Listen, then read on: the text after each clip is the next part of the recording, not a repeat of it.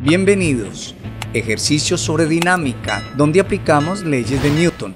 Un automóvil frena con una desaceleración de 6 metros sobre segundos al cuadrado.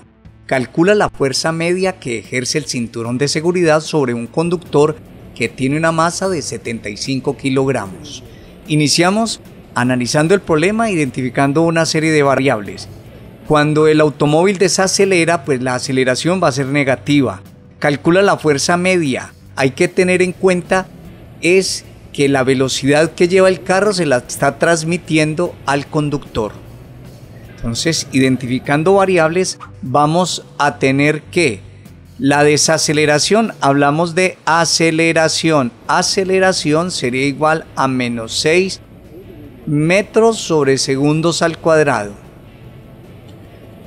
La fuerza media que ejerce el cinturón quiere decir que esa aceleración que lleva el automóvil se la está transmitiendo al conductor. ¿Cuánto es la masa? No vamos a mirar la masa del carro, vamos a mirar la masa del conductor que se le aplicó la aceleración que lleva el carro. En este caso era una desaceleración. La masa del conductor equivale a 75 kilogramos.